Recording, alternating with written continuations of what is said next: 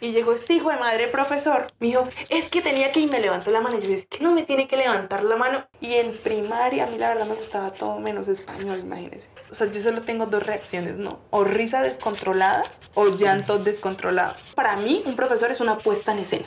Mucha gente es porque ama leer. Yo no amo leer, yo amo aprender. Aprender. ¿Qué me enseñó mi mamá? Nunca tenga miedo de su fuerza. Si necesita romper algo para sacar su máximo potencial, rómpalo. Yo vi a, María, la conocí por su canal de YouTube, encontré a Español con María. Dije, ah, esto es enseñanza quizás para extranjeros. Bienvenidos a un episodio más de Saquen una hojita y hoy tengo una súper invitada que ustedes hoy van a conocer, además de conocer su profesionalismo, van a conocer su historia escolar, que es la esencia de este podcast, porque vamos a poner hoy a sacar una hojita a María Alejandra del canal de YouTube Español con María. Moni, muchísimas gracias por la invitación. Feliz, feliz de estar aquí. Ay, Y feliz de verla como ha volado, Dios mío. Gracias, Mari. Es, este momento es especial precisamente por eso, porque yo quiero que usted vuele conmigo. Ay, gracias, mi Moni. Mari, resulta que creamos este podcast con el fin de indagar, porque en muchas ocasiones estamos hablando de las épocas de la vida, cómo llegó usted a ser youtuber, que de eso vamos a hablar ahorita. Pero yo siento que el colegio y las etapas escolares son la mitad de la vida de nosotros hasta una edad determinada. ¿Qué pasa en nuestra vida en esa mitad de, de vida escolar con nosotros que puede determinar o no nuestro futuro? Yo le quiero preguntar, ¿dónde hizo Kinder? En Pitufitos. Ahí está está ubicado en Lagos del Cacique. en Lagos del Cacique, Estamos hablando de Bucaramanga. en Bucaramanga. Ahí estudié como dos añitos. Y luego estudié jardín en San Pedrito. Ah, entonces, stop. Hizo prejardín. Hice párvulos, Párvulos. dos veces. ¿Por qué veces? Porque entré muy chiquitica. O sea, yo cumplí dos años a mitad de año y me metieron ese medio año solo para como adecuarme y luego repetí párvulos. Ve, Porque estaba muy chiquita. Buena decisión. Y luego prejardín Y luego prejardín y luego ya en jardín pasé al San Pedrito. al San Pedrito. En San Pedrito estudió toda la primaria. Toda la primaria. ¿Recuerda su profesor o profesora de primero primaria? Sí, Patricia. Patricia, la profesora Patricia. ¿Por qué le dice así? No la quería mucho. La verdad, yo no me acuerdo muy bien por qué, pero yo recuerdo que primero. O sea, a mí siempre me gustó el colegio, pero primero no. Primero no me gustaba ni cinco en uno, cinco era mi salón. Eran... Eran cinco salones, Eran entonces cinco el mío era uno, cinco. Y quería estar en 1.4, en 1.3, en otro. Yo no, yo no sé, como que de pronto fue eso también, ¿no? Uno no sabe, como el cambio, uno subestima el cambio de jardín a primaria, que cambia académicamente, Sí, sí. cambia todo, y a mí me cambiaron de salón. O sea, yo ya no estaba con las amiguitas que venía de, de preescolar. Y pues uno pasa de la profesora de, de jardín, que es un amor, o sea, que uno llora y lo sienta en las piernas, a una que no. Entonces yo creo que ella lleva el bulto por ser la primera que no, no era consentidora. Además de que primero primaria, bueno, ya a la profesora le toca como tomarse más en serio El tema de la el educación. tema de la educación, la ya clase. no es jugar. Ya no es jugar. Y en primero primaria, eh, ¿el colegio era mixto? Sí. ¿Qué situaciones recuerda de niña que usted diga, bueno, ese día fue el día que lloré, ese día me sentí mal? Hubo un día, a mí no se me olvida ese día, teníamos un compañero que no sé el nombre de él, pero le decíamos Da Vinci. Y Da Vinci era loco, o sea, Da Vinci era loco. Uno de repente estaba en clase y le caía plastilina porque Da Vinci lanzaba plastilina al techo y se soltaba la plastilina. O sea, todo, pero también muchas veces no era culpa de él, sino que siempre era que uno le echaba la, La culpa, culpa. de que algo malo pasara. O sea, no importa qué fue, seguro fue Da Vinci.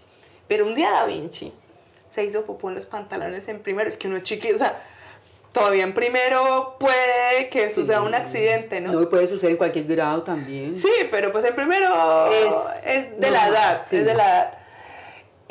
y entonces Da Vinci, claro, todos, seguramente, o sea, seguramente el de lado dijo, ¡ay, Da Vinci se hizo popó! Entonces, obviamente todos nos debimos empezar a burlar. Pero lo que pasó es que Da Vinci cogió las, las cartucheras de todos, se limpiaba y nos las lanzaba. Sí. Y eso había salido a la profesora, no sé, en el colegio tocaba llevar como una hoja de diario, seguramente salió un momentito y cuando entró era una batalla campal el salón. Se lanzaba popó. Sí, sea, como un mono aullador, o sea, Da Vinci era un mono aullador. Después de eso yo nunca volví a ver a Da Vinci. Lo sacaron del colegio. Lo cambiaron de salón primero y ya después nunca lo volví a ver. Saludos No. para Da Vinci, si me ves, era tu compañerita. No, es que a uno le pasan unas cosas de chiquito, ¿cierto? Eso le pasó al pobre Da Vinci. Eh, cuando estaba, me fui para primero, pero cuando estuvo en, en párvulos, recuerda que eh, si lloró porque la dejaron allá. No, yo no recuerdo eso, pero mi mamá sí me cuenta que ella decía como, pues yo era, de verdad era muy chiquita, recién cumplidos los dos añitos. Y ella decía, si llora, no la dejo, o sea, nunca la voy a, a obligar a quedarse en el colegio. Y es que yo llegué y yo, chao mami, y me entré y mamá fue la que se puso a llorar. que yo me entré como si nada. Ay, quizás también se lo tomó usted como, mejor no lloro porque yo sí quiero estar en el colegio. Sí, pues aparte yo recuerdo que a mí me gustaba ir, y a mí me parece fundamental que los entornos para niños sean para niños y los de adultos para adultos. Y que uno en el colegio sea un castillo, o sea, que motiva más para un niño que ir a un castillo. O sea, de verdad, desde ahí creo que empieza la, la magia de uno querer estudiar. Es completamente diferente uno de niño Sí. llegar a un lugar colorido, que estimula, eh, donde no hay miedo a equivocarse, donde todo es explorar, a llegar a una cosa donde no te dejen ni hacer ruido. Y el primero primaria, entonces, eh, empieza a ver ya varias, varias áreas o materias, ¿cierto? Yo creo que, eh, creo que, no, desde, desde preescolar en San Pedrito yo veía varias materias. Ya veían varias porque yo me acuerdo de llenar el, el... Yo amo San Pedro, de verdad yo amo mi colegio. O sea, yo estoy muy agradecida como universidad, pero para mí mi colegio es... Sí, lo adoro. Y soy lo que soy por mis papás, Dios y el colegio. O sea, el colegio es toda mi formación. Y yo recuerdo en Jardín A estar haciendo eh, con dibujitos, pero el calendario de qué clases era. Entonces había, me acuerdo mucho porque en San Pedrito había, no sé si to- todavía lo haya, un parque que tenía una casita. Una casita de dos habitaciones, cocina, todo, o sea, para niños, pero tremenda casa. Y había una clase a la semana que era en la casa. O sea, era jugar allá. Entonces recuerdo que en el, en el horario uno dibujaba Ah, la, casita. Ajá. Sea, como que en el colegio siempre nos metían desde pequeñitos los hábitos de estudio. Y yo creo que yo soy tan disciplinada por eso. Y es que precisamente María está aquí hoy, porque yo vi, a, a María la conocí por su canal de YouTube y se siente en, en lo que ella hace. Cuando uno habla con María, se le siente una organización, una pilera, hay que hacer esto, hay que hacer lo otro. Yo me la imagino así en el colegio. Yo, no, yo ñoña por siempre. ñoña, ñoña por siempre y presidenta del gobierno escolar también todas las etapas de mi vida. Representante del salón. De salón, preescolar, primaria y bachillerato. O sea, de aquí voy para presidenta del país. Claro, claro, es que así se forma un líder. Y bueno, cuando pasa a segundo primaria, ay, algo que a mí me impresionó, no sé si le dieron, es que empezaron a dar desde preescolar filosofía. ¿Le dieron filosofía? No, a mí me dieron filosofía desde sexto. Cuando yo estaba en primaria, yo no sé qué pasó en el San Pedro, si había como una transición de probar ser bilingüe, hu- hubo como un experimento, porque yo me gradué y no era bilingüe el colegio, pero yo prim- en primaria veía mathematics, science, phonetics e inglés, o sea, veía varias materias En en inglés y veíamos una materia que era hábitos de estudio. Una materia se llamaba hábitos de estudio. Sí. ¿Y qué enseñaban? Y luego en bachillerato, como organizar el horario, creo que era la que uno organizaba el horario y era la que uno debía hacer tareas en, En hábitos de en estudio. hábitos de estudio. Y en bachillerato se llamaba hora de estudio y pues no era una clase, era una hora para estudiar ahí en el colegio. Sí. ¿Y cuál fue su materia preferida en primaria? A mí siempre me gustó todo lo que era arte, me fascinaba. Entonces en primaria, de los recuerdos que tengo así de pitufitos, son con pintura en las manos. O sea, como eso que le ponían a uno a hacer, que uno echaba aquí el chorrito de pintura, espichaba la, la hoja y salía. Eso era lo que a mí me encantaba. Y educación física. Y en primaria, a mí la verdad me gustaba todo menos español, imagínense. No le gustaba español y el canal de María se llama Español con María. Nunca me gustó, ni siquiera en bachillerato. ¿Por nunca, qué? nunca ¿Le me vendieron gustó. mal la materia o qué? Primero, era supremamente aburrida. O sea, para mí todas las materias que son idiomas se debe estudiar es lenguaje, eso es lo primero. ¿Sí? Y es social, no es La mera encerrar- teoría. pues sí, y Sí. menos de encerrarse y menos atemporal. O sea, Sí. yo les venía diciendo como, muy bien, no me vayan a corchar en cuando saquen una hojita a hablar del miocid, porque obviamente no sé nada del miocid. O sea, o sea, y me quedé Sor María Inés de la Cruz y eso. Sí. No, o sea, no.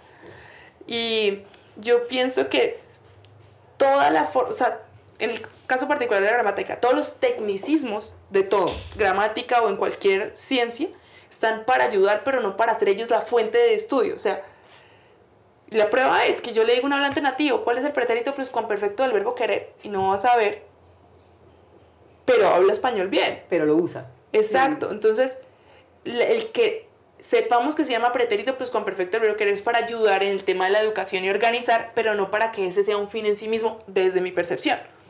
Y me parece que en la educación escolar se ve el español así. O sea que debería ser más práctico y significativo. Sí, de hecho, en décimo y once, aunque sufrí porque era supremamente exigente, le agradezco mucho a una profesora que tuve en el colegio que era Gloria, que nos mostró español diferente, o sea, nos mostró como, oiga, de verdad usted no lee bien, o sea, no tiene comprensión de lectura, saque de aquí la idea principal, organice el texto, o sea, yo sé escribir, y sé leer todo gracias a ella y no gracias a comunicación social cinco años.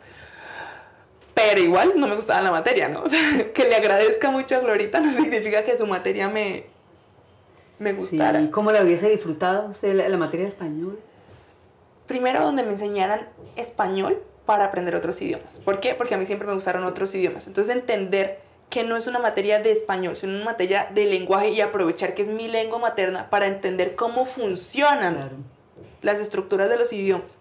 Y eso poderlo extrapolar para aprender una segunda, tercera, cuarta, quinta lengua, me hubiera gustado. Pero probablemente no a todos, ¿no? Es que a mí eso me apasiona.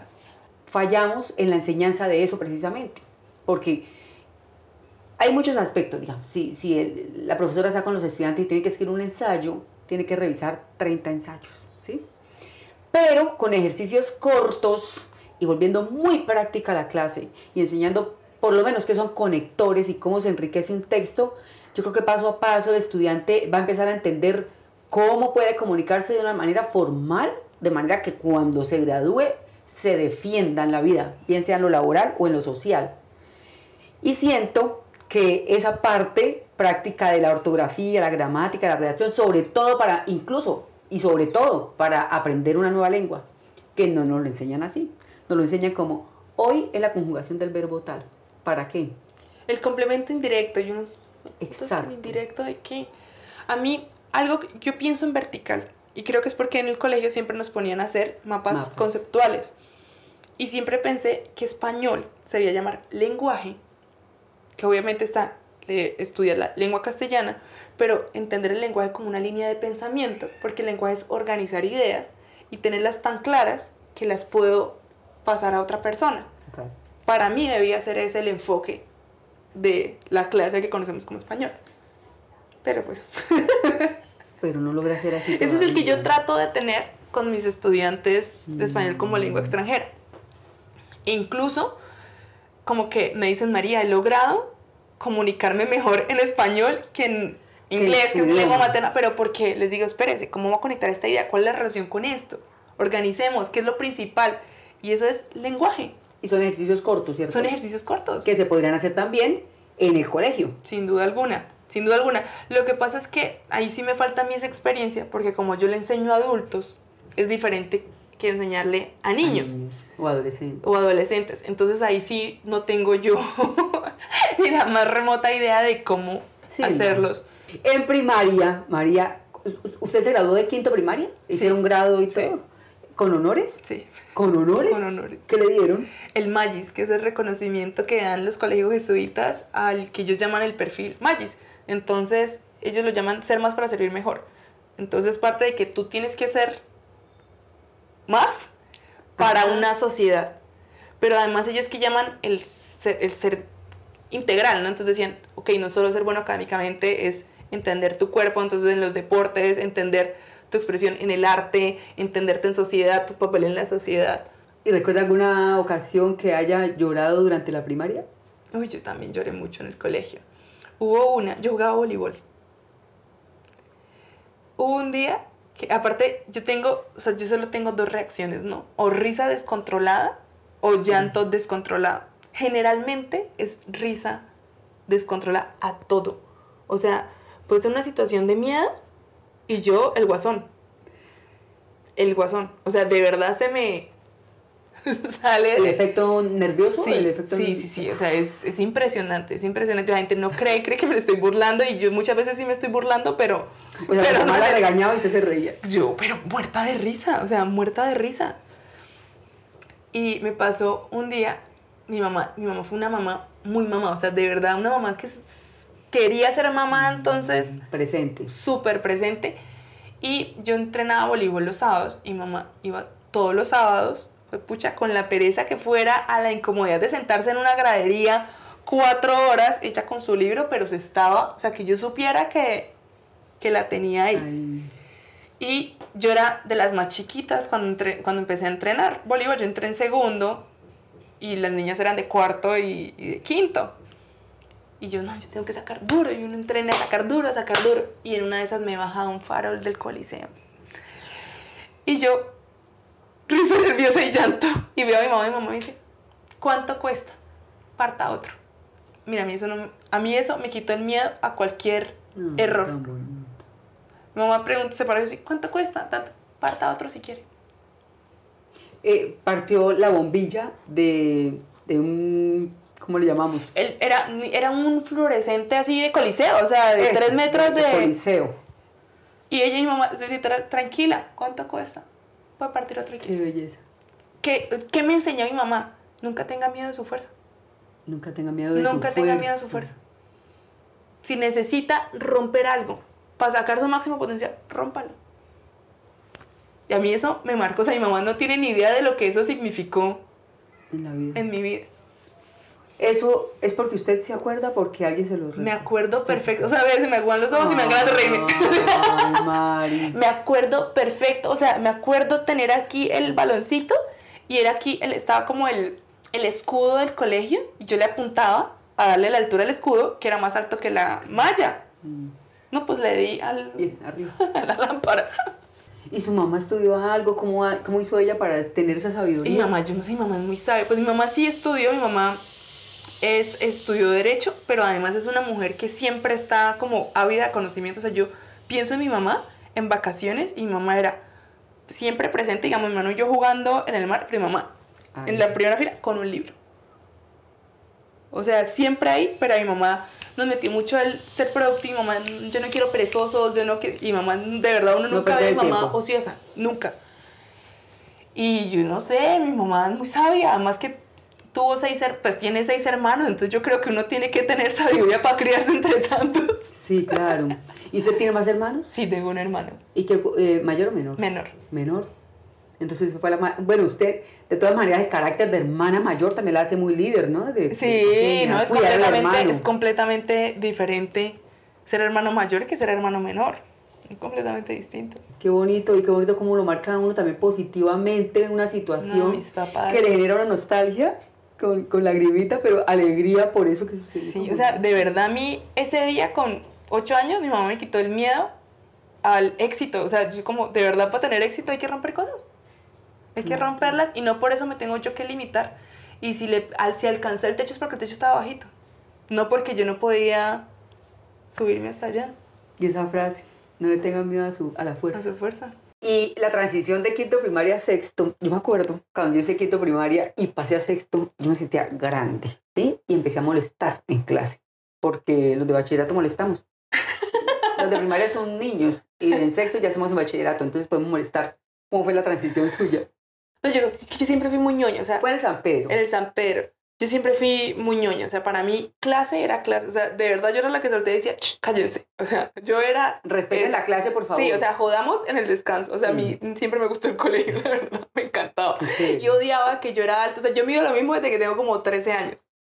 Entonces ahí me mandaban atrás, a mí no me gustaba que me mandaran atrás, o sea, por mí ojalá que me pusieran de primera para parar la atención en clase, porque a mí de verdad me gusta estudiar. Entonces yo siento que como, como a nivel académico, no, sí, o sea, como que no tuve un cambio. Sí me pasó, yo nunca había perdido ninguna materia de nada. Y en sexto me dio salmonela. ¿Qué es? Salmonella es una bacteria que da por pollo o alimentos mal lavados o el agua. Y es digestiva y eso es por vida. O sea, de hecho, si se complica, puede ser mortal. Y me dio durísimo y tuve que faltar como dos semanas al colegio. Y el colegio hubo una evaluación, una cosa como de mucho peso y me pusieron cero. O sea, yo nunca había perdido nada en mi vida. Y ni con la excusa médica me la abren y saqué con aceptable. Aceptable no era perder la materia, pero era aceptable. Era raspando. Era aceptable. Mm. Para mí un aceptable no era aceptable. No era aceptable. y tocaba igual recuperar el indicador, porque aceptable es perder un indicador de los cuatro o uno de los cinco. Entonces tuve que hacer la, la hijo de madre recuperación de eso y sin haber visto la, o sea, hicieron un examen de algo que estudiaron en las dos semanas que yo no fui a clase. Y me tocó recuperar eso. Y, uy, miren, para colmo, este, yo, yo dejé de ir al colegio dos semanas y llego a recuperar y todos que sabían que yo era super niña, ¿cómo así que te tocó recuperar? Yo era, aparte de matemáticas, yo era de Olimpiadas Matemáticas, Moni. O sea, yo tengo un diploma de Olimpiadas Matemáticas. Y yo perdiendo matemáticas de cuando acá. Y yo no estaba. Y entonces luego me dice, ah, llegué a hacer el quiz, pero ¿cuál quiz? ¿De qué? Sí, o sea, claro. de nada. Y entonces me tocó hacer la hijo de madre recuperación y eso me lo explicó mi tío. Mi tío, entonces, bueno, ya. Y llegué y en esas volví al colegio. Me dice otra amiga igual de ñoña que yo, o sea, Estamos hablando de cuadro de honor a cuadro de honor, ¿no? ¿Cómo así que te tocó recuperar? Muestra. En la toma de contacto, o sea, ni siquiera era en clase, es en el momento antes de que llegue el profesor. Y ella me dijo, muestra, yo mira todo lo que me tocó hacer. Y era así como hojas de esas de cálculo, era, súper largo, yo tienen huevo, tal cosa, así hablar. Y llegó el profesor y simplemente nos sentamos, pero yo no tenía eso guardado en mi carpeta, pero estaba en la mesa, pero no estaba haciendo nada, o sea, estaba en mi mesa. Y el tipo llegó por todas las mesas que tenían algo, las agarró, volvió una bola y lo metió a la caneca. Me metió mi recuperación, que ni siquiera había presentado a la caneca por una materia que ni siquiera era la de él. Pues, te ha armado la de Dios, porque yo no me quedé callada. Claro. Y el hijo de madre me ha levantado la mano. Y yo con, o sea, 12 años, a mí no me levanta la mano. ¿Cómo le levantó la mano? ¿Cómo fue la situación? O sea, yo le fui a decir, ¿usted por qué me quitó las cosas? Como que luego me acerqué cuando no estaban otros compañeros, es que usted no tenía por qué tener las cosas Le dije, ¿por qué? Si es que, y yo, yo sí siempre he sido respondona para que, o sea, yo sí. Y con razón, digamos. Sí, con razón. No responder por responder. No por responder por responder, mm. pero mi mamá me pagó otro fluorescente. O sea, yo no iba a dejar que a mí me vinieran a decir que me podían quitar las cosas de mi mesa porque se le dio la gana. Entonces yo, ¿pero por qué yo no estaba haciendo nada malo? Me dijo, es que tenía que y me levantó la mano. Y yo dije, es que no me tiene que levantar la mano. Me dijo, espera, espere, espere, espere, es que me fui a salir, llamé a mis papás. Y se armado la de Troya. Y luego nos entramos que ese profesor tenía esa mano, o sea, ya le había levantado la mano a estudiantes, no pegado, ¿no? Sino amenazar de, de, rabia así. Y obviamente lo sacaron, solo que, ¿qué pasó? Él no me conocía porque era primer semestre del colegio, había director de grupo había faltado él no sabía que yo era tremenda ñoña y seguramente se lo había hecho a estudiantes que no les iba bien en el colegio, entonces los papás les decían, ah, eso le pasó a usted por mal estudiante, por mal estudiante mm. hasta que me pasó a mí. Y ahí tuvo que era un problema de él y no de los estudiantes. Esa vez que me lo hizo a mí, se lo hizo a tres mujeres más, ni siquiera a hombres, a tres mujeres más. Los papás de las tres fuimos, pero la razón por la que hubo eco es porque a, a mí que, o sea, mis papás obviamente creían todo lo que yo les decía porque yo era excelente estudiante, nunca me iban a decir, mm. es que es porque usted estaba jodiendo. Sí. Y para mí eso, es, o sea, de verdad uno poder confiar en los papás. Aparte, ser un, para mí, un profesor es una puesta en escena. O sea, el que se para, el profesor tiene una tarima porque es un artista, la educación es un proceso comunicativo y es una puesta en escena. De hecho, en el colegio tenían una, la tarimita, ajá. Entres en su papel de educador. sin, su papel no es venir a sembrar violencia, ni a sembrar terror, ni a sembrar... No. ¿Cómo, qué puede esperar uno en la mente de niños que desde las 7 de la mañana les están gritando?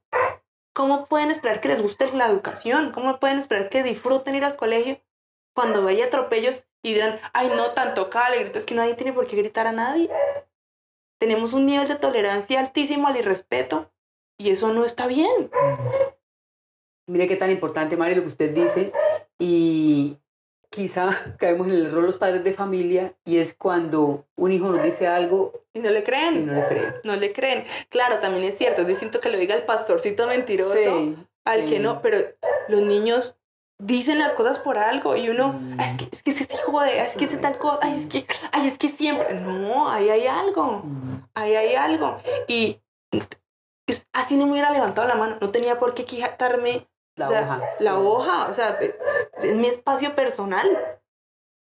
Sí. Y bueno, y yo, yo creo que actualmente los profesores, dependiendo también como de su carácter y la forma de ser, su esencia, ¿no? Porque hay profesores de todo tipo, pero siento que cada vez que pasa más el tiempo, se está cuidando un poco más ese espacio del estudiante, ¿no? O sea, sí. se están generando más formas de, de cuidado dentro del discurso de manual de convivencia, ética, como se llama el colegio, tratando de que haya esa cordialidad entre docente y estudiante. Hay dos extremos. Está el que piensa que cree que son pares, para mí no son pares, porque por algo es un profesor. Y entonces, profesor. No, que el profesor no le puede decir nada al estudiante, no, pues tiene que podérselo decir, porque mm. tampoco estoy de acuerdo con que no dejen que el profesor guíe, digan, es que para enseñar esto yo no, para enseñar esto también en el colegio, o sea, aparte que además el estudiante es cliente, es que es cliente, y no solo es cliente, es la razón de ser de, una, de un sistema educativo. Sí, y de hecho, el, el, estudiante o el niño, el adolescente resulta odiando la mayoría a veces en un salón de 36, 30 no quieren estar ni siquiera en la clase. ¿Por qué sucede eso? Algo está pasando. Algo está pasando en el salón. Bueno, y, y bueno, la, toda esta transición del bachillerato en el Colegio San Pedro. Todo. ¿Cierto? Me imagino que María siguió siendo ñoña, es decir, la más juiciosa, la más estudiosa, la de las calificaciones altas en décimo y en undécimo, ¿también estaba en voleibol? Todo el, todo, el tiempo. Todo el tiempo. Aparte de voleibol, ¿estaba en otra cosa? Estaba en baile. ¿Estaba en baile? ¿En el colegio? En el colegio. ¿Qué hacían? ¿Coreografías? Em, teníamos un grupo de baile, en ese estuve en once. Teníamos destalce de hip hop. No, yo amo a mi colegio, la verdad. Qué chévere. Mire esos espacios tan bonitos. Y, y, y María, como dice, que ama el colegio y es precisamente porque el colegio propició estos espacios tan bonitos para desarrollo. ¿Cómo hacía para poder cumplir con voleibol, baile, el colegio? Nunca no lo hice, entonces nunca me acostumbré a no tenerlo. Y vuelvo a jugar como el tema del apoyo de los papás. Yo me acuerdo que yo inventaba algo y muchas veces los papás es como, ¿quién lo lleva? Es que, no, pero es que hay que comprarle tenis. No, pero, ¿por qué no vuelve otra vez a otra cosa? Porque es que es el mismo uniforme. Claro, obviamente hay carencias, hay dificultades, lo que sea.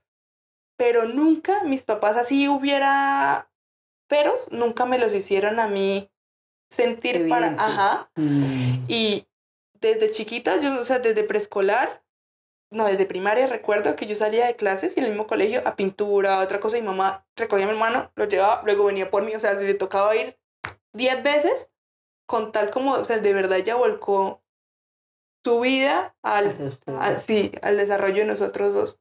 Entonces siempre tuve muchísima carga como tanto académica como en tiempo, que uno diría, pobrecita, no le fue, yo hoy digo, gracias a Dios, porque si yo no tuviera esa formación, o sea, para mí la universidad fue muy fácil en comparación del colegio. Y tan fácil que trabajaba y estudiaba otra cosa, o sea, como que, como nunca conocí el tiempo libre. Sí, así de, y es que tengo la tarde libre, pues nunca supe no, no, ocuparla. Y en el colegio salíamos a las cuatro y media de clases y luego venía deportes. Entonces yo salía del colegio fácilmente a las siete de la noche. A las seis y media se, terminaba el entrenamiento, mientras uno guarda las cosas, a las siete estaba saliendo. Claro. Normal. Y aparte, uno quería ir al colegio, ¿no? Eso tenía el San Pedro. Uno, igual si no tuviera ir, uno quería ir. Mari, este, cuando usted estaba, digamos, haciendo todas estas actividades de voleibol, etcétera, ¿también era la mejor en voleibol, en baile y en todo?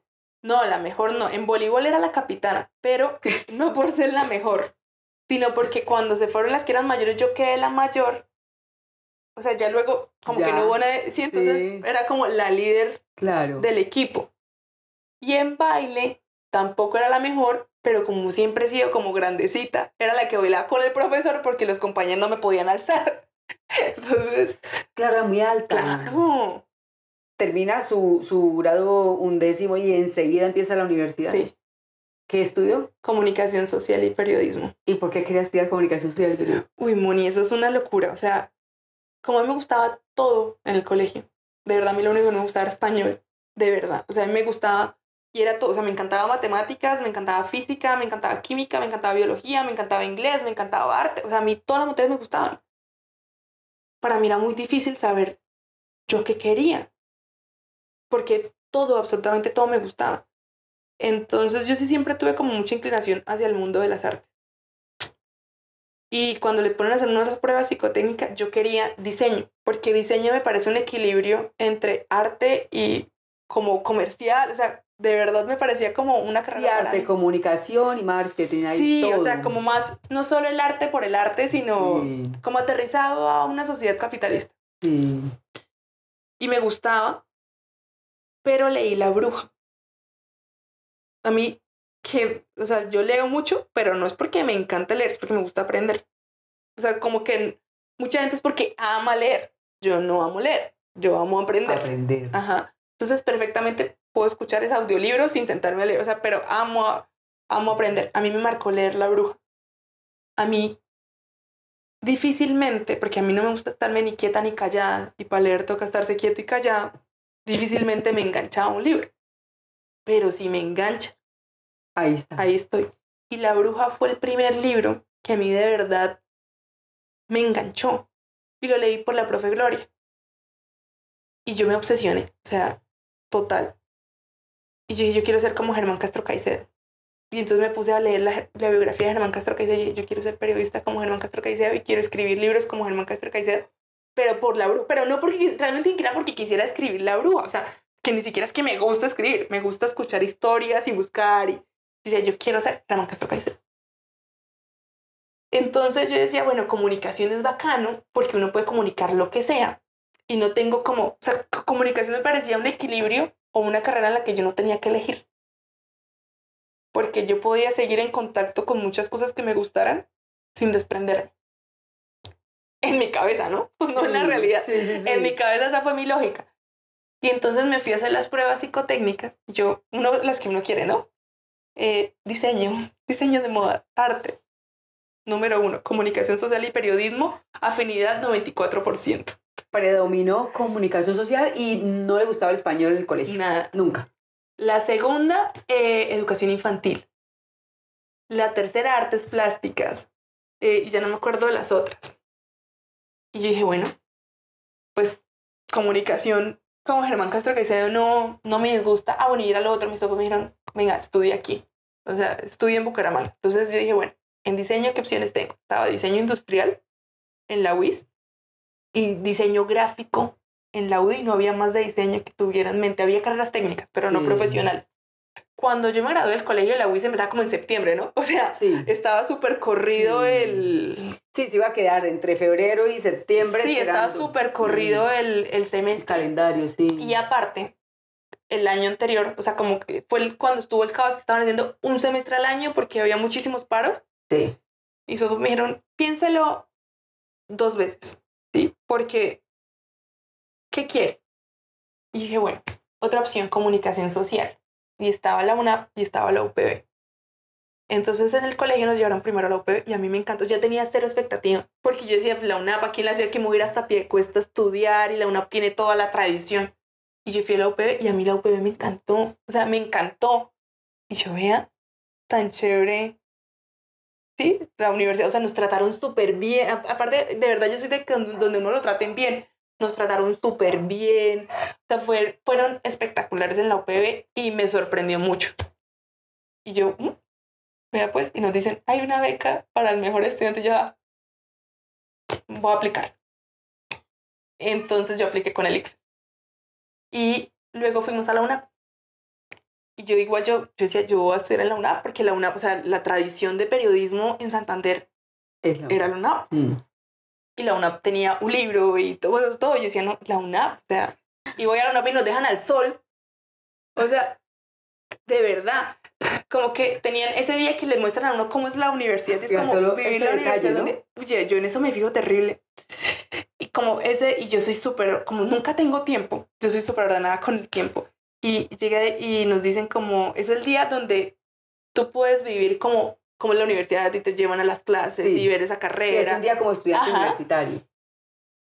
y tenían ciento y pico de pelados, clientes de ellos, posibles clientes de ellos, en Bucaramanga, donde de los estudiantes, muy probablemente muchos se iban a cargar en una y nos dejan al sol y a los de comunicación, nadie nos pasó a recoger, sino hasta como dos horas después que se dieron cuenta que había una programación.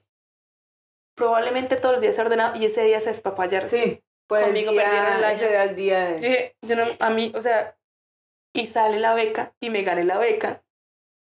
Y yo la fue también agradecidísima toda la vida con mi universidad. Solo que para mí sí el colegio tiene, también son muchos más años.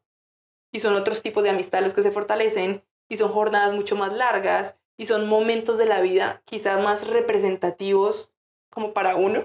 Entonces el, el colegio tiene un lugar Importante. importante. ¿Y ejerció el periodismo? Lo ejercí un tiempo, sí. Sí, ¿cuánto tiempo? como un añito larguito.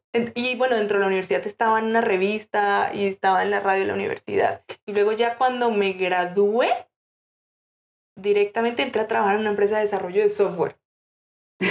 ¿Qué hacía? Oye, y de hecho, eso, hoy en día agradezco porque eso es el paso para que yo tenga una empresa digital hoy en día. Moni, yo tengo muy buena suerte en la vida, o sea, también disciplina, y todo, pero suerte. Y cuando llega uno de pasante a una, car- a una eh, empresa que es nueva la oficina de comunicaciones, nunca saben qué es el comunicador. Y lo ponen a uno de todero, de todero. Así Eso es lo que ponen. Yo tuve la suerte infinita de tener un jefe que aunque no sabía que sea un comunicador, me dejó a mí crear el, El cargo. el cargo. E hicimos el plan estratégico de comunicaciones para la oficina. Lo que pasa es que el tipo de desafíos que a mí me gustaban eran diferentes a los que se, se desarrollaban en la oficina. Pero ese trabajo, a pesar de que no me gustara como lo que hacía, digamos, lo que no el plan estratégico de comunicaciones, sino yo tengo que creer mucho en todo, ¿no? Sí. Desde por qué la empresa está haciendo... Sí. Se, se puede dar cuenta que soy un Sí. poquito quisquillosita. Sí. Entonces yo tengo que creer. Y yo, a mí no me cuadraba el porqué de la empresa. Sí, no me cuadraba del todo. Y curiosamente, hasta se lo conté un día al jefe. Y él me dijo, oiga, yo nunca lo había pensado que de verdad no tenía sentido. O sea, así era. Porque es la historia que se repite, se repite y deja de tener, Sí, sentido. deja de tener sentido. Mm. Y gracias a ese trabajo yo pude entender mucho de plataformas digitales, sistemas de pagos, como que páginas de aterrizaje, marketing, de afiliados, o sea, como que me metí en el mundo digital y todo, de verdad todo pasa por algo. ¿Cuánto tiempo estuvo ahí? Dos años. Eh, Bueno, súper aprendizaje para lo que hace actualmente. No todo, Moni, antes de, es que de verdad, hoy en día yo siento que uno tiene como las estrellas sueltas y luego se forma la Mm. constelación, pero todas, o sea, todos los puntitos chiquititos tenían que estar ahí. Porque cuando estaba en la universidad, yo trabajé casi toda la universidad y trabajé como jefe de prensa del FICBA, el Festival de Cine de Barichara. Ese fue mi primer trabajo como periodista. Y ahí aprendí, pero como no se imagina, Moni. O sea, absolutamente todo lo que uno hace, si lo hace con propósito, se va a aprender. ¿Y cuánto tiempo fue jefe de prensa ahí? El festival de cine duraba dos semanas, pero uno trabaja como ocho meses previos al- Claro. al, ¿Es el festival. mismo festival? No, Es diferente. el festival FIBA. era otro. Ujú, El FICBA ya se acabó, alcanzó a tener tres ediciones. Yo trabajé en la segunda edición y fue una super experiencia porque yo también, yo tenía 18, 19 años, Moni, y yo recibía a Víctor Gaviria, a Fernando Trueba. Yo con 19 añitos. Qué felicidad. Con el Festival de Cine. o Con el Festival de Cine. Barichara. Qué belleza. No, eso fue una nota. Pues, La verdad fue una... Es que todo, todo se vuelve... o sea, uno, uno no sabe qué está haciendo, que para algo lo está preparando después. Ahí aprendí a hacer ruedas de prensa, a abrir eventos. O sea, no, eso... Eso fue una Claro. escuelota. Además de fortalecer las habilidades comunicativas por los eventos, Moni, es que Comunicarse con gente yo mayor. llegarme así, yo coger a Fernando Troza, un- ese tipo tiene un Oscar. ¿Sí? Y yo, no, venga, sí, siéntese. O sea, claro, bienvenido, tal cosa. Y que me dijeran Mariale, o sea, ni siquiera me. Sí, como que se sentían súper en confianza. Mm, qué chévere. Y el trabajo, bueno, ese estando en la universidad. Luego en esta, en la empresa de programada. No, luego trabajé como community manager de muchos lugares. ¿Cómo fue como community manager? Yo lo intenté Súper ser bien. y no me gustó. Súper bien, pero súper bien para la época con salario de Sí, estudiante, sí, de la obviamente. época, sí. Eso es que siento que esperan que uno hoy en día, o sea, ya mirando hacia atrás, uno actúe como un profesional en mercadeo, diseño, eh, comunicación con un salario de pasante. Sí.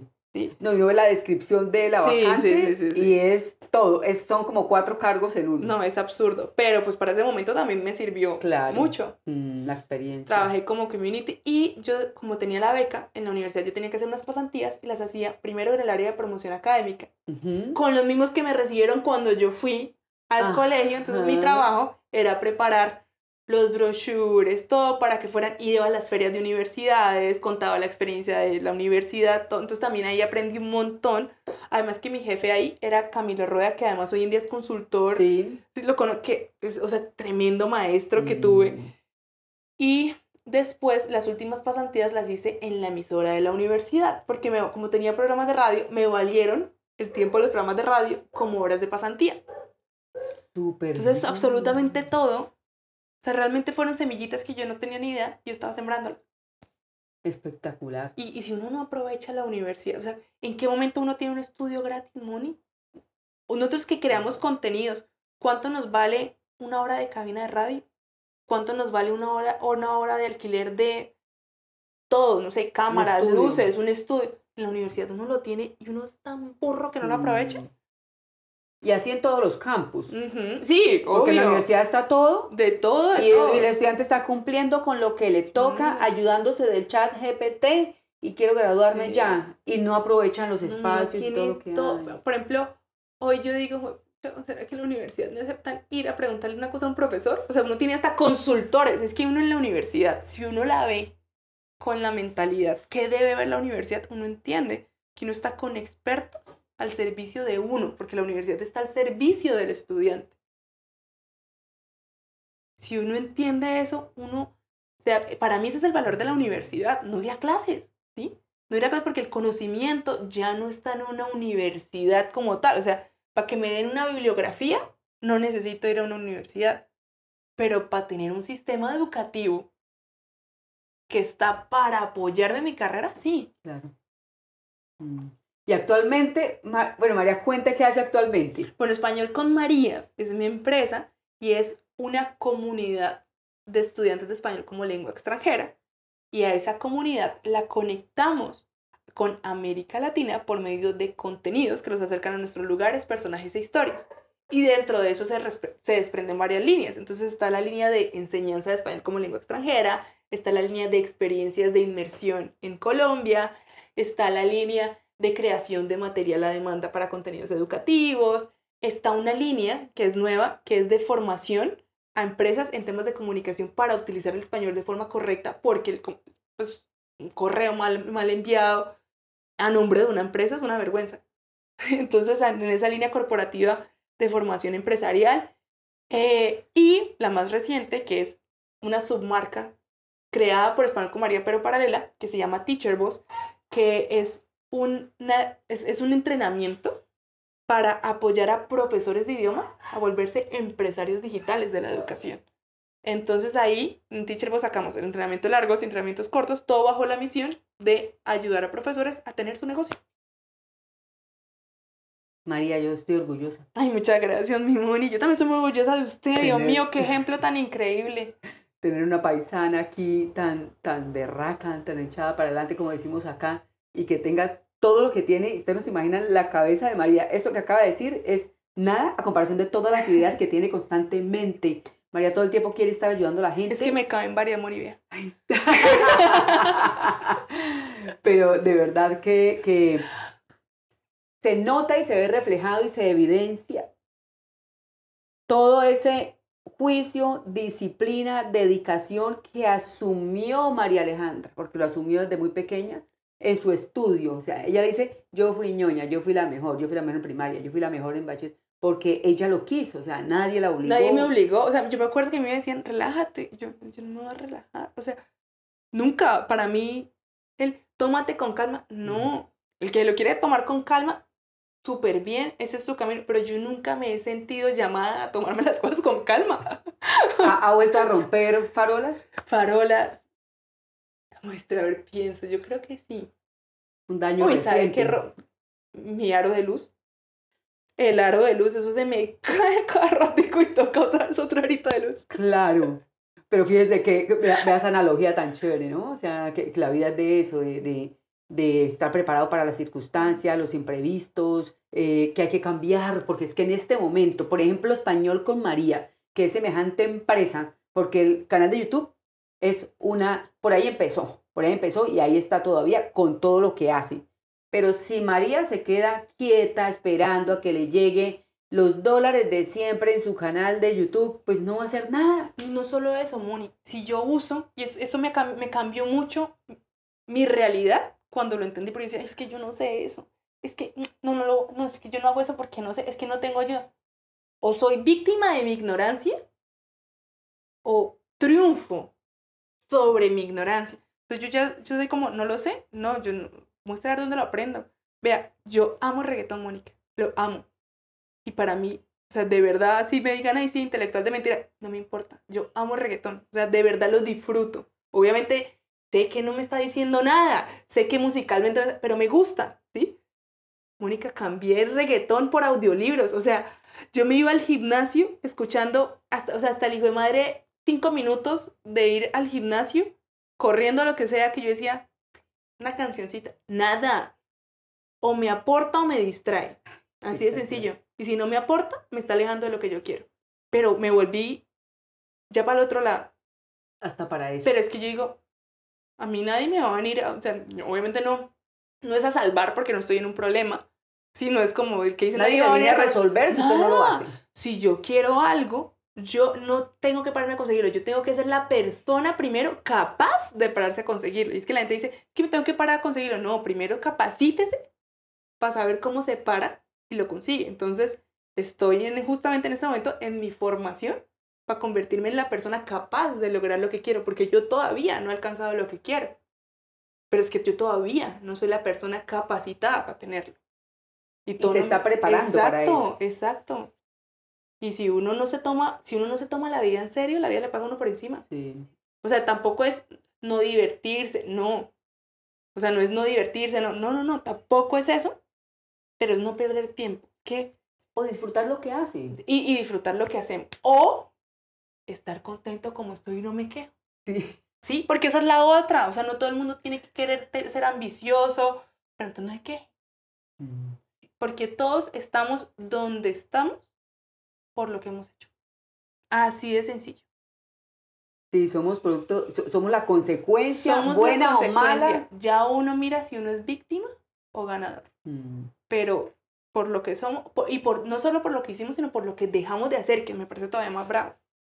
Sí, las decisiones que tan importantes de la vida en el que tenemos que decir sí o no, O lo no. hago o no lo hago, y esto iba a, a, digamos, a resultar en algo. Ujú. Mire, María, algo que usted dice en este momento tan importante es la programación mental. Y es, a mí me pasa igual. Digamos que no, no por el lado de la música, pero sí por el lado de qué información le estoy enviando a mi mente todo el tiempo. Entonces, si yo voy a escuchar música, si yo voy a leer, si yo voy a sentarme a tomarme un café con alguien, debe ser porque me está aportando Aporte. positivamente en mi vida, o sea, situaciones, personas, música, libros, todo que me, que me esté aportando para poder ofrecer al mundo eso que en este momento le quiero ofrecer. Es que, Moni, todo el mundo cree que invertir es invertir plata. Invertir es tiempo y energía, que es lo único que no dan más. Porque plata, plata, plata la regalan en la lotería. O sea, apartamos de que, pero nadie nunca le regala, gánese cinco años de vida. Gánese levantarse con energía. Eso es de uno. Y eso es lo que uno más tiene que cuidar. Claro, gánense lo que tiene acá, el conocimiento. Mm, Están rifando allá, eh, tres semestres de conocimiento Sí, de eso, fonética. eso no se lo regala, eso, eso es lo que uno más tiene que cuidar. Sí. Mari, yo estoy muy feliz de tenerla acá, pero de verdad que la felicito, María. muchas gracias, de- Moni. Desde la primera vez que la vi en, en su canal de YouTube, porque soy una persona que me gusta y siempre lo he hecho. Yo resalto el buen trabajo y sobre todo el trabajo bien hecho. O sea, es que es excelente el trabajo que usted hace. Y cuando yo empecé el canal de YouTube y empecé a buscar quién hacía español, encontré a Español con María. Y vi- miré su video más viral. Yo dije, María, ¿es es esto así? Dije, ah, esto es enseñanza quizás para extranjeros. Hasta que un día nos conocimos, gracias a la vida, en un evento Bailando. de baile, bailando. Nos encontramos bailando. Y eso fue muy bonito ese encuentro porque surgió una nueva amistad muy bonita con María. Mari, muchísimas gracias por estar acá. No, Moni, gracias, gracias a usted porque usted también es inspiración para mí todos los días.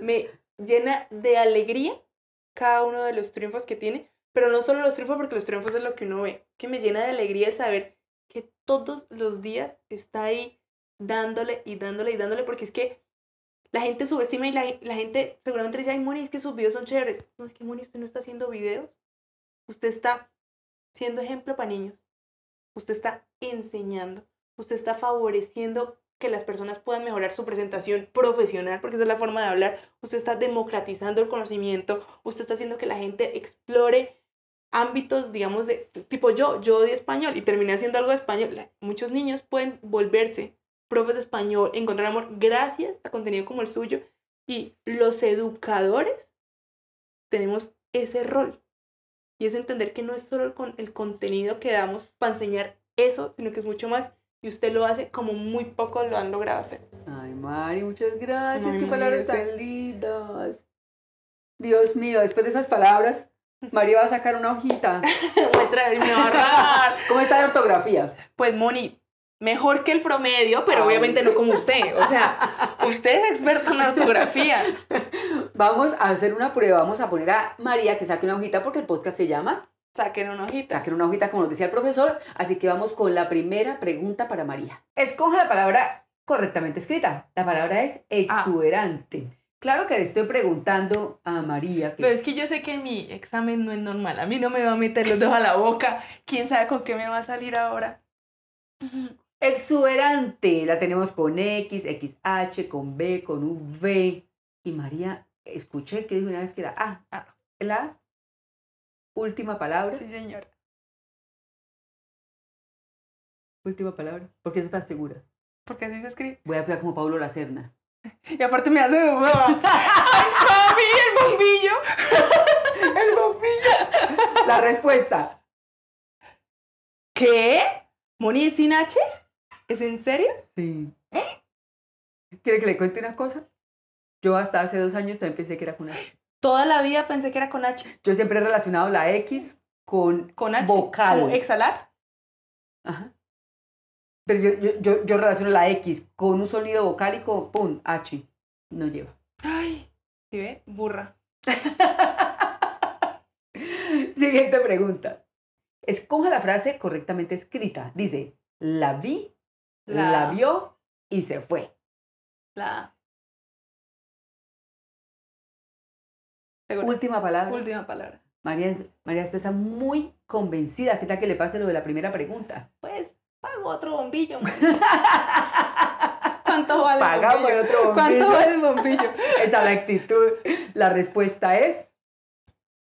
Bien. Siguiente pregunta. Escoja la palabra correctamente escrita. La palabra es o la expresión súper riquísima. Me tiene entre la C y la D, pero le ha puesto a la... Sí. Entre la C y la D. Listo, ya descartamos A y B. Vamos a concentrarnos en C y D. Pero vámonos por la C. ¿Cómo suena la palabra? Con doble, o sea, por la fonética, diría la D, Entonces la C. no la D. La D. ¿Por qué cambio de opinión? Bueno, vamos a ver la respuesta correcta para no martirizar más a María. No, vale huevos. La respuesta es La D. súper riquísimo. ¿Y por qué? Claro, esto es otra cosa que se ve rarísimo, ¿cierto? Porque resulta que tenemos el prefijo súper, usted lo mencionó, y tenemos una palabra que se va a formar nueva gracias al prefijo súper, como súper fácil, súper bien, etc. Claro, la palabra súper termina con R, la otra empieza con, con, con una sola R de riquísimo. Pero al unirlas, Toca doble. toca doble porque suena ri entre vocales. Siguiente pregunta. ¿Cómo, ¿Cómo? se escribe el número? Uy, Moni. ¿Cómo se escriben números romanos? 78.908. La, la D no es, entonces está entre A y B. Y ahora quería- quedaría en 78. 78, en mi lógica, si 7 es 5 con 2, tiene que ser 50 con 2.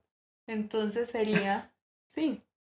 Entonces sería, bueno, las dos tienen el 70, 70 y el 8, allá sobra una, es la A. María, que, que toda una construcción.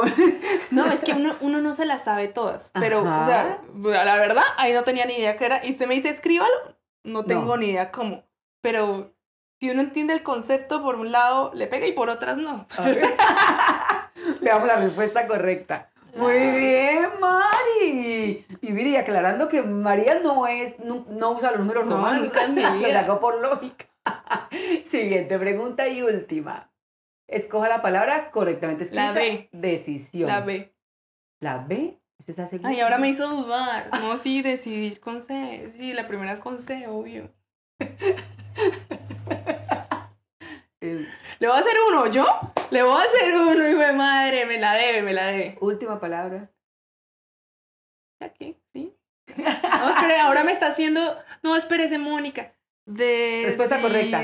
Respuesta correcta. María. Decidir. Ah. Bien, Mari, muy bien. Bueno, fíjense que de todas maneras, esto nos da a entender a nosotros, yo Todo el mundo se equivoca. Yo me la paso aprendiendo todos los días y, y puse una palabra en estos días en otra entrevista. ¿Usted usa jengibre? Sí, Entonces sabe cómo se escribe. sí. Yo no uso jengibre y, y se me confunde. ¿eh? ¿Sabes yo con J. cuál me confundo siempre? Con jirafa. Siempre. Con jirafa. Porque en inglés, o sea, siempre me- en inglés es con J siempre me Ah, como la palabra garaje. En inglés es con G al final y en Ah, español con bueno. J. Y, ah, siempre me yo, "Pucha, en español, ¿cómo es que es? Mari, pero porque usted está inmersa también en el, en el idioma inglés y Uy, también se le- pero gira, con jirafa siempre me pasa, siempre es como, ¿cómo es que se escribe jirafa? Mari, resulta que yo sé, yo sé que usted ya tiene el libro, un libro lleno de errores. Que se los súper recomiendo a todos. Y le pregunto, María, por el libro, porque yo sé que no ha llegado a la página 295 todavía, pero yo se lo voy a adelantar. Le voy a tapar acá unas palabras y usted me va a decir en qué contexto Ok. Uy, ¿Quién sabe qué palabras son, Dios mío? utilizaría esta palabra, justo esta, Ah, sí. hace, sin H y con S. Para que usted hace, hace algo. Hace la carne. El imperativo. Mm, El verbo asar. sí, pero... Listo, del verbo asar. Listo. Clic. Hace. Check. Otro verbo. Del verbo asir. Del verbo asir, que en este momento se olvidó su significado, pero espérate, ¿así no es como agarrar? Sí. Ah. Del verbo asir. Entonces, ¿dónde utilizaría, por ejemplo, un ejemplo, un hace? Si viene del verbo asir, sería, o sea, como conjugación. A ver, los que terminan en ir, vivir, vive, él hace. Él, sí, de, con el presente del indicativo conjugado para él. Sí. Él hace la jarra. Sí. Muy bien, María. Yo le dije, me puedo equivocar, pero no conjugo mal. yo no le dije yo antes, no lo dije yo antes. con María. Bueno, María pasó la prueba, sacó una hojita, se arriesgó. Fíjense que todos los días podemos aprender, ¿no, María? Eso es cuestión uno de, como dijo María hoy, es cuestión de uno tomar la decisión de aprender. Ella lee para aprender. Eso me quedó grabado hoy, lo de leer para aprender.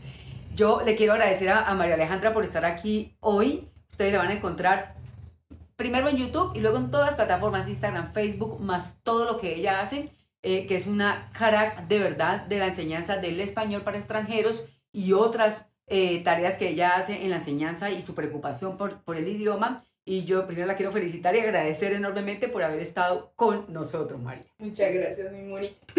Eh, ¿Cuál fue el último grupo que trajo de extranjeros a Colombia? Trajimos un grupo de polacos. Realmente eran tres polacos, solo que uno vivía en Inglaterra y estadounidenses a Santander. A los pueblos. Sí, fuimos a Charalá, Barichara y pues recorrimos aquí Bucaramanga y el área metropolitana. ¿Y cómo les pareció? Les encantó. Usted está Les haciendo país. encantó, Les encantó. O sea, nuestra misión con turismo idiomático, nuestra misión con Español con María es que las personas se acerquen a mejores experiencias de vida gracias al español. ¿Por qué? Porque conocen nuevos amigos, conocen otra parte de su personalidad. Y con turismo idiomático es que vivan los mejores días de su vida en Colombia hablando español. Y ellos salen felices, felices. Así, este año ha sido muy difícil la comercialización, pero el año pasado que fue un poquito más fácil, que tuvimos varios viajes, estaban encantados, todos vuelven, todos se llevan una imagen de Colombia completamente diferente, todos se vuelven, o sea, yo digo que los colombianizamos, o sea, así de, de decir Colombia, el amor de mi vida. Gracias por eso, María. No, pues yo feliz de poder ser uno embajadora del país que es uno, o sea, Claro, claro, de verdad. embajadora. Gracias, Mari, por estar acá. no, no, muchas gracias a usted. Y nos vemos con ustedes en un próximo episodio de Saquen una hojita. Chao, chao.